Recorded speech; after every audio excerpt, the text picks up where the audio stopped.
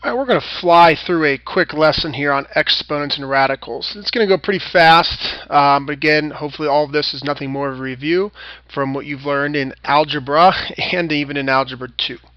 Um, real quick, let's make sure we understand the basic rules of what an exponent is. So if we have a to the m, that basically means we have tons and tons and tons of a's being multiplied m times. So we would have m of these a's, whatever that is. Let's also make sure we understand negative exponents. Remember, negative exponents have nothing to do with negative numbers. So a to the negative m simply means that this repeating a, much like up here, would be on the denominator of a fraction. So it would be 1 over a to the positive m, which would be 1 over a times a times a, again, m times. And having negative exponents is um, bad math grammar, um, so we try to avoid it as much as we can. So final answers, we usually try to make sure there's no negative exponents. So let's fly through the um, rules real quick. The first rule when dealing with exponents is that if you are multiplying with the same base, base a, base a, you can add the exponents. So it'd be a to the m plus n. So real quick example here, if we had x to the seventh times x to the third, we have a total of 10 x's. 7 here, 3 here, 7 plus 3 is 10, x to the 10th. Also can work with negatives if we have x to the 7th and x to the negative 3. Again, you could treat this as 1 over x to the third, or you can simply add them. 7 plus negative 3 would be x to the fourth. And since that's a positive exponent, we would leave it alone. Second major rule here is with division. If you have the same base on top, same base on the bottom, you could subtract the exponents. So it'd be a to the m minus n. So do a quick example. If we had, uh, let's see here, let's use y, y to the 10th over y to the third we would just subtract 10 minus 3 is 7. So we have 10 y's on top, 3 on the bottom. There's only one term on top here, one term on the bottom. No plus signs, no minus signs. So 3 of the y's on top would cancel, which is where we get the y to the 7th from. Be careful though, because if we did it like this, with the y to the 3 on top, y to the 10 on the bottom, again, you could just use the idea that three of these y's on the bottom are going to cancel, leaving seven y's on the bottom, or 3 minus 10 is y to the negative 7, and then we say, wait a minute, we don't like that negative exponent, so we'd put 1 over y to the 7th as our final answer. Alright, next rule, number 3 here, um, would be that any value raised to the 0 power is always 1. Um, anything to the 0 is always 1, no matter what. Easy, easy, easy. Number 4 here, we have a times b in parentheses with an exponent outside the parentheses. Basically, that exponent goes to both of those. That means we have ma's and mb's just like that. Um, be careful. I want to just quickly show you there's no parentheses, like 3x squared. That means there's just 3 and then xx, two x's. 3 times x times x. The 2 does not go to 3 because there's parentheses. Whereas if there were parentheses around both of them, then all of a sudden we have 3 squared, two threes, and we also have x squared, which would shorten to 9x squared, obviously. So those parentheses do make a huge difference. Um, we also have the next rule, which is a power to a power. So if we have a to the m raised to the n, then that is when you multiply. You have a to the m times n. So quick example of that, if we have x to the third raised to the sixth. Think about that. We have x, x, x on the insides. That's three x's, six times. That's obviously a total of 18 x's, x to the 18th. We could also do it with negative exponents. We got y to the negative 2 raised to the third, Again, we have multiplying. We get y to the negative 6. But wait a minute, we don't like leaving negative exponents. So that's 1 over y to the 6th should make complete sense. Um, we also have the same rule right here. I'll throw it up here. Rule number six. The same rule with division. If I have A over B to the m. Again, because it's in parentheses, the a gets the m, and so does the b. So a to the m over um, b to the m. Now be careful. Again, this is all implying. Notice through none of these problems has there been a plus sign. It's all been one term, one term on the top, one term on the bottom, or one term inside the parentheses.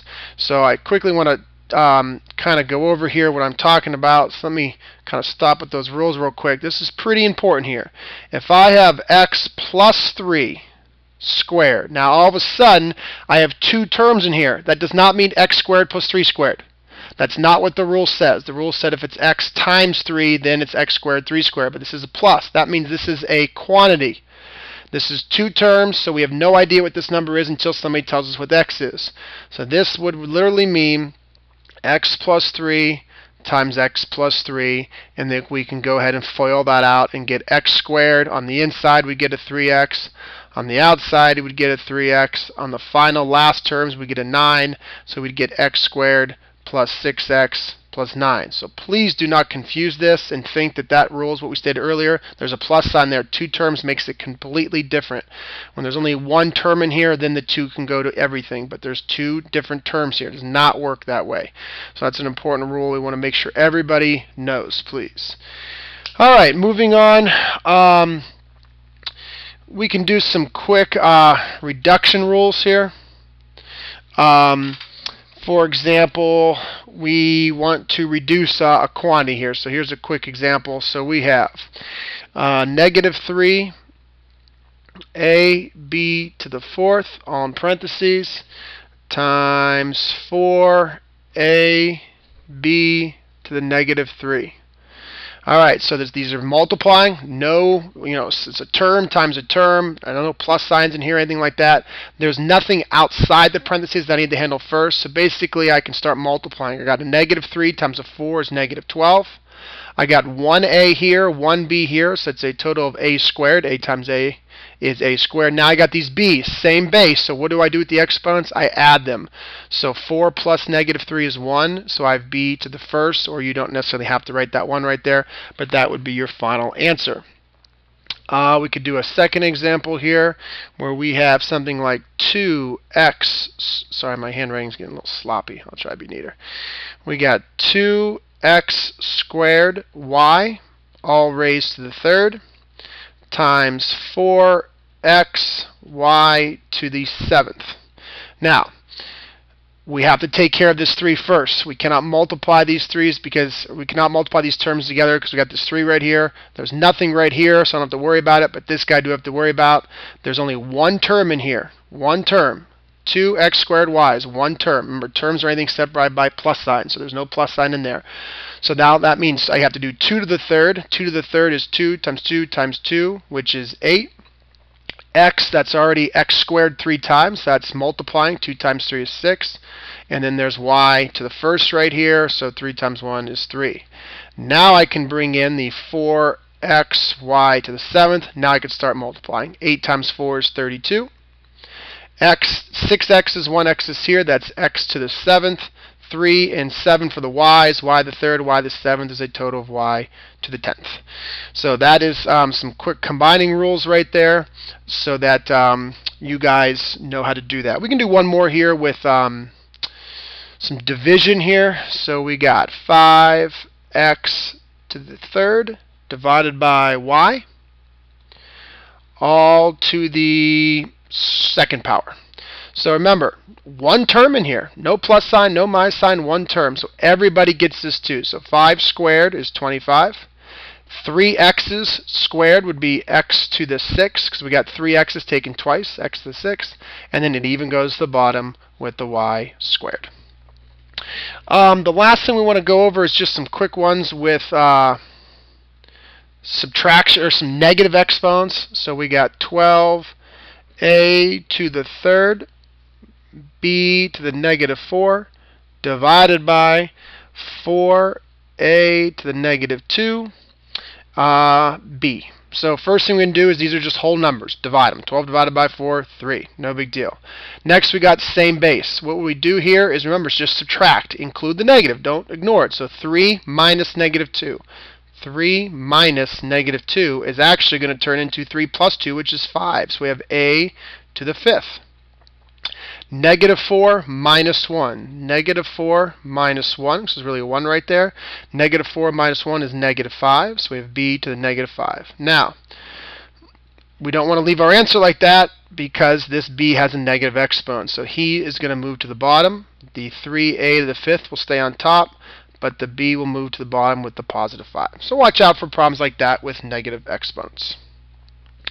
All right, next we want to quickly, very quickly look at um, square roots and radical rules kind of uh, idea here.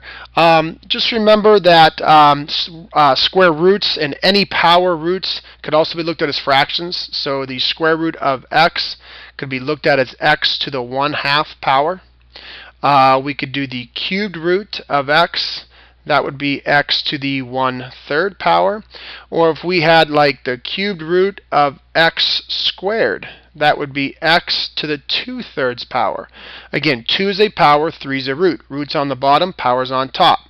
So that's why the power, I'm sorry, the power of 2 is on top, the root of 3 would be on the bottom.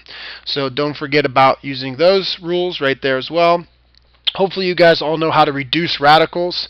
For example, reducing something like 48, the square root of 48 is not a perfect number, but 48 is 16 times 3. So now the 16 can come out as a 4, so I get 4 radical 3 as a final answer. We need to reduce all square roots in this class. I'm not going to spend a lot more time on reducing square roots. Hopefully that's something very easy for you guys to do. The only other thing I want to talk about real quick is what we call rationalizing the denominator.